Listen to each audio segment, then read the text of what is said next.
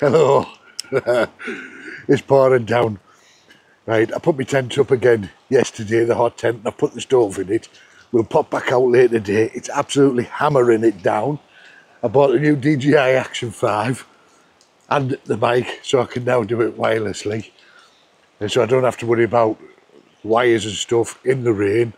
I'm just hoping this is going to pick up okay. I did a little bit, I'll turn you around. It is banging down. We'll check that out later. I did come out this morning when it was a bit more blowy. You see the trees moving there. Let's just clear that off the lens. Um, I'm going back in. Ollie won't go for his walk because of the rain. But I'll put the bit in that came out earlier and then we'll go back later on and we'll have a sit in the tent and have a look at it. Bye for now. Have a look at it. Just been out all night in this pouring rain.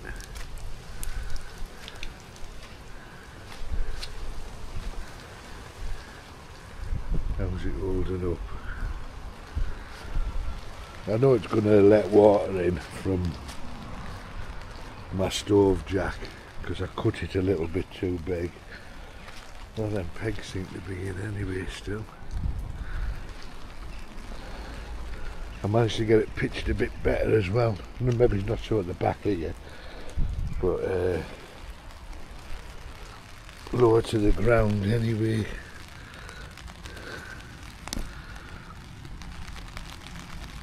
I just wanted to tighten it up. It's a moment of truth. I haven't uh, got my mic on. I'm just trying to get Ollie out for a walk, and I don't blame him. He wouldn't. Uh, he wouldn't leave. Wouldn't even get out the car. He didn't even want to go to the car. So it was on the radio there that this rain. It, I think it started around about 10 o'clock last night in the northeast. It's going to just be a full-on day of heavy, heavy rain and uh, strong winds. Like, quick look around it first. Eh? You'll have to excuse if any water comes on this lens. Did I mention it's my new Osmo Action 5? Water's still beating off. That's where I think I'm going to get water coming in. Right, let's not put this off any longer because I'm just getting wetter and wetter. So let's see inside the tent.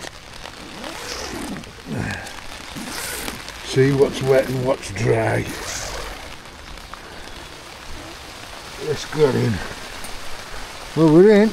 Any water following me in there? Yeah, a little bit. Do that down so far. Right. Oh. There's water coming off my jacket. But, yeah, I got water where, where I thought I would have there. But, everything else Wow. Everything else is dry. Just sit down. Oh.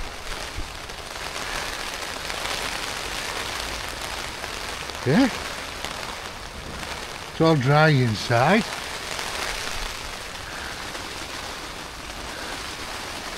That's just off my coat that that's on there where I've rubbed up against it. Any water in this bathtub? Well, perfectly dry inside there.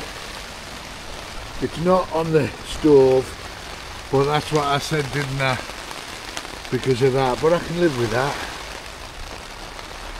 Obviously, if that stove was on, oh, that water wouldn't be there. Say. Let me see if I can put you here. How you all doing all right?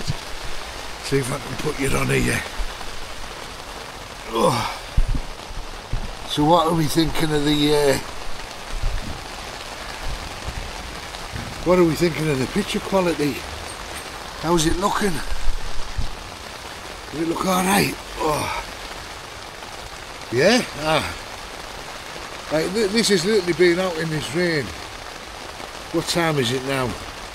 Coming up to 10 to 10 in the morning, so it's 12 hours. 12 hours of this uh, torrential rain and it's holding up okay. Yeah, I can't see any water. Any water coming in. Can't see any water coming in off any of these seams. Uh, zips are all, that's all dry. It's all dry along the zips as well. Yeah, happy with that. Let me pick it up. Yeah, so happy with that. So 12 hours.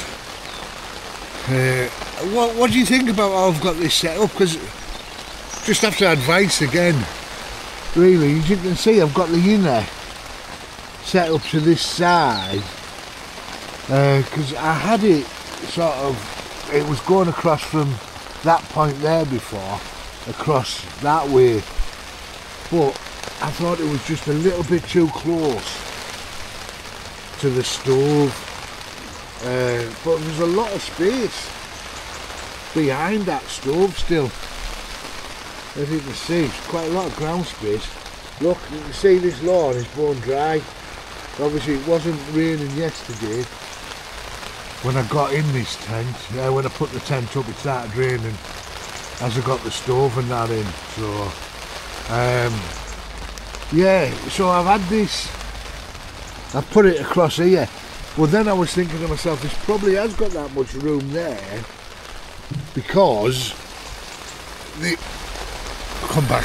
I've talked to myself. I think I'd pressed. Uh, I think I've pressed the button where the switches the screen off. I'll have to go in my settings and uh, check them all out, make sure I've got them set properly. But um, yeah, so what was I saying? Then again, I was thinking, well, it is supposed to be a four-person hot tent, and if you were to use this without the inner, obviously then you're going to have so much more room for sleeping bags and stuff and you can get people you could get a person two people behind the stove there then. But uh, yeah so I might like this stove and see how it uh, well I've had it lit. I had a bit of a accident because the pipes that I ordered for the stove uh, that came with it were a little bit loose when I put them to the the original pipes that came.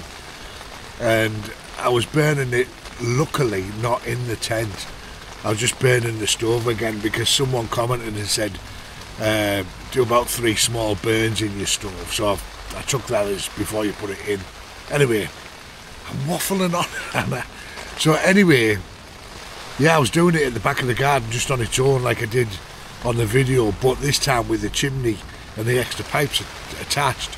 A little bit of a breeze came, and I mean tiny, and they fell off. They all fell down, and they were red hot. They'd, had, they'd been on long enough for them to get red hot. Now, if they'd have landed on my tent, God, I'd dread to think what it had been like. So what I've done, I've been and bought um, a Jubilee clip. So I put it on that bottom pipe now that attaches to the original I've pinched that up really tight and this pipe now has been out all night in this rain in the heavy winds um, and it's not well it's not fallen over and this is to be a true test if it was going to fall over fall over if it was going to fall fell fell up yeah if it was going to fall over it it had done it last night um, so it's it's working anyway. And the other thing with the spark arrest on this, it doesn't have anywhere to, to attach uh, a couple of lines, you know, guy lines. So I've fashioned a bit of wire, and I'm going to get some carabiners. I fed the wire through one of the holes, put a loop in the end. Then I'm going to put a carabiner on that, and I put one either side. Uh, but I did see a video that says don't tighten them down because them lines really aren't. You're not supposed to tighten them they're just there to help stabilise the pipe and stop it from falling over completely. So, like I said, it's all new to me. But yeah, I'm over the moon with this. People, people doubted it and said, "Oh, it'll leak. It's a cheap tent. It'll leak like a strainer." But it isn't. It's uh, it's completely dry in here, apart from where I thought. You look at that ground. Totally, totally dry. And you'll be pleased to know I've bought a carbon monoxide uh, monitor as well. So I've got that. But I did see, I have got it. There's so much conflicting information out there on the internet, but I did see a few videos saying that people do use them, but it's not really necessary because the type of fuel you're using and because they're vented anyway. Um, so I don't know, but I've got one. It's better to be safe than sorry, isn't it? So I've got one. If you don't want to use one, don't, that is entirely up to you. But I think I would always advocate that you do use one. You never know, do you? But yeah, with the hot tent, I've been watching videos and there's so many different uh, people say different things, like saying that the you don't need to pin the tent to the ground like right low. Yeah, to have a gap around the bottom for airflow yeah, when you've got your stove on. Um, but other people say pin it to the ground, but I don't know. I think it's more or less each to the own, isn't it?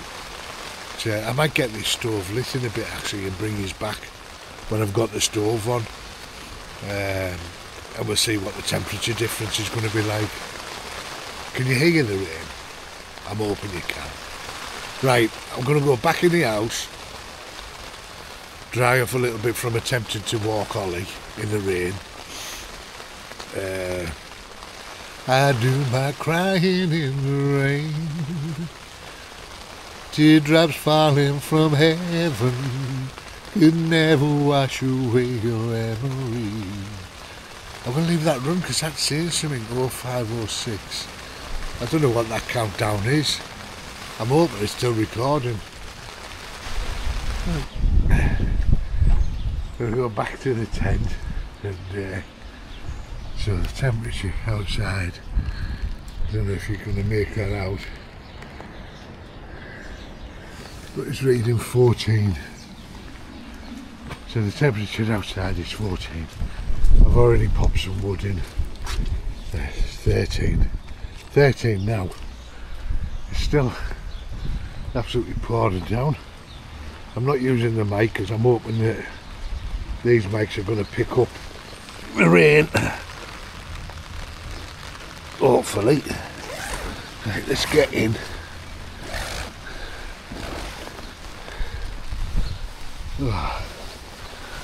Right. We're back in. Oh, you know what? I have to go back to the house. I forgot the carbon monoxide thingy. Right, back in the tent. I'm going to light the fire, blowing the gale out there. I'm pretty confident in this chimney stack. It's withstood a lot, so fingers crossed it's going to be alright. The temperature, I don't know if you'll see, but at the moment it's reading 13 point 13.5 the temperature in the tent and that's uh, 13.6 that's Celsius I think Celsius yeah 13, 13 Celsius yeah I don't know what that is in Fahrenheit but right so I'm going to get this fire built and bring you I'm not saying it I'm not saying bring you back in a minute but I will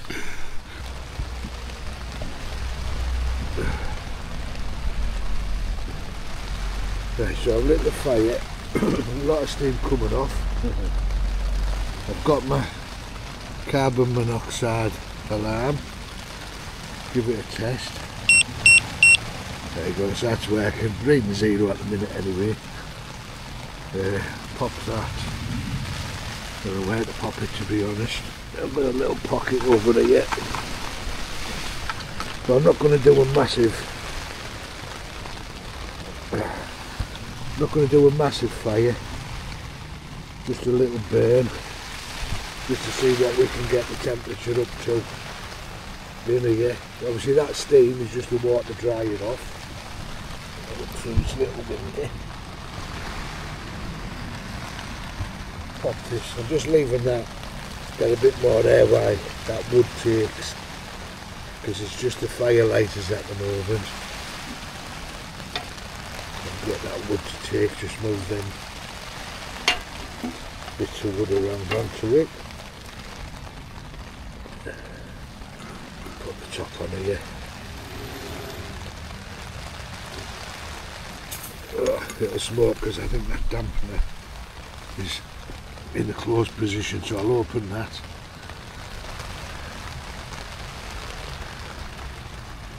We'll see how it does. We'll see what the temperature goes up to. I'm trying to find somewhere to put this where my hands won't have an effect on it. See the water dripping onto the tops already bouncing off. Uh, let me get my gloves and stuff out of this. Sorry. I'm going to get my gloves and things out of this little pocket on the chair. Right, I'll pop that in there.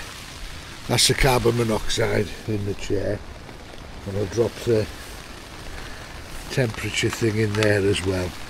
So that's pretty much in a, a mesh pocket there. Gloves can go on the side of there for now. I put them gloves, I soaked them the other put them on the side, should have seen them. They were dry in no time. So, can we see anything out of there? Apart from daylight. Right, let's see how this goes. Let's have a look how this goes there. Eh? I can actually feel a little bit of warmth already. Whether that's psychological, I don't know, because it's not exactly blazing at the moment. Oh, whether I put my metal opener. Best not lose that, it's important. A look how it's getting on. You certainly feel the heat as soon as we open that door. Back on. I don't want to, but should we go and see if it's how it's smoking outside? I know it will be smoking. Go and have a look eh?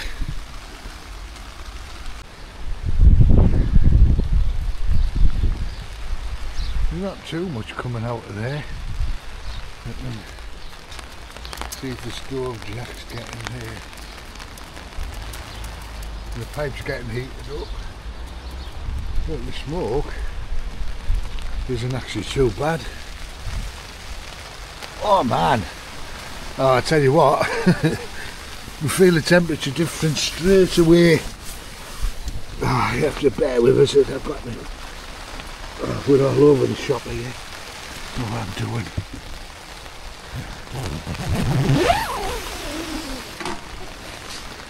Wow. Oh. It's definitely warm in here now. Very warm. yeah. I'll give it a bit and then we'll see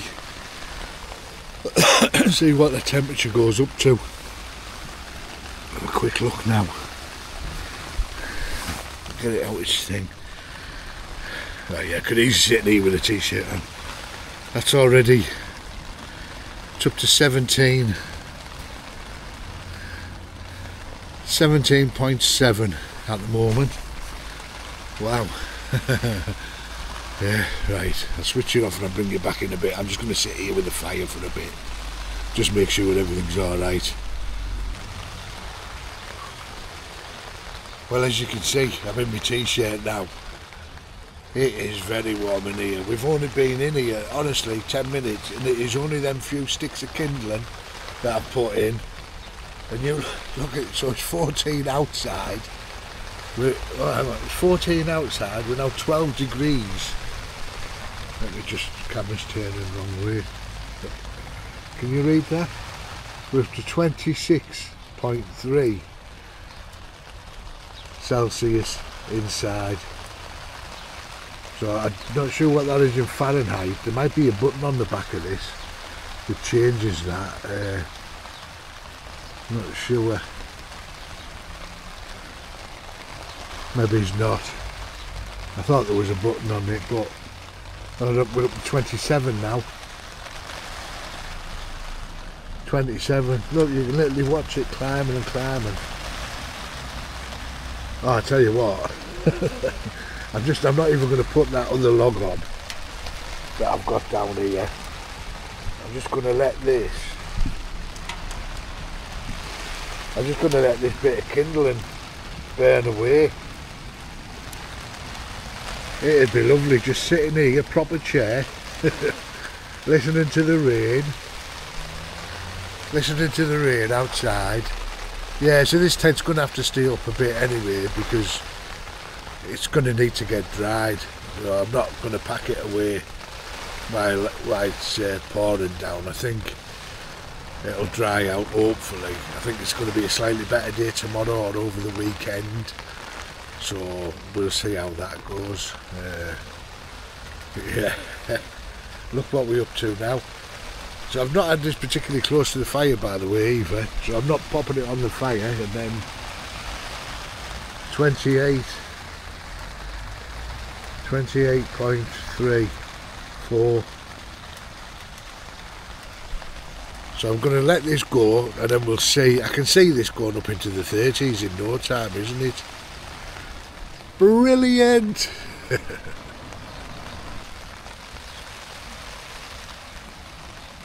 There you go we've hit, we've hit 30 we've hit 30 degrees in here in uh, literally honestly there's about 12 minutes.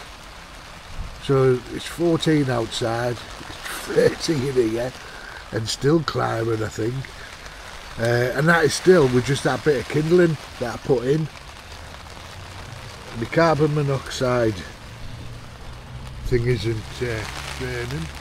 So that any water that's coming on there now is just hitting that pipe. And because it's so hot it's just disintegrating anyway so now there's no not there's no water coming in either. The carbon monoxide reader there's the stove? Dried off. Uh, oh, we've got reflections or something. I don't know what you're getting. Like be the screen in it? Is reading zero zero particles per millionth of whatever that is. And it does work look. Press the test but we're totally safe. Yeah?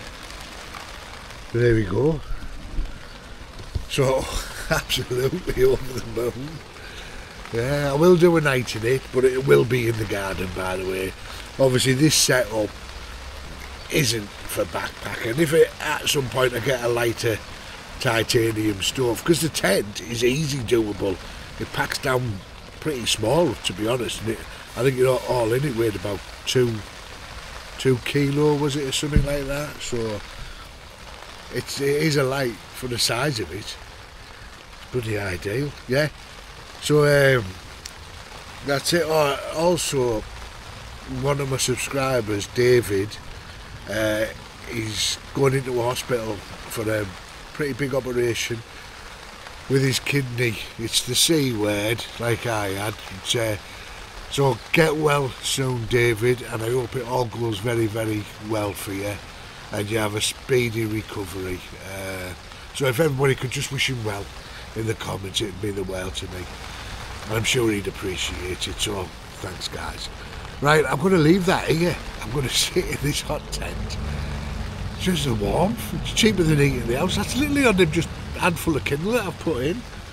It is starting to die down now, but I can still feel the warmth from it oh God, don't want to go on. Right, it's going to be forever this, uh, video.